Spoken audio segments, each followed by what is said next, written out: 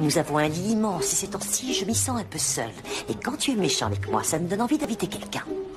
C'est justement à cause de ce genre de menaces que tu n'auras plus jamais accès à mon fric. Pourquoi tous les hommes riches sont des ordures? Tout simplement parce que toutes les belles femmes sont des salopes.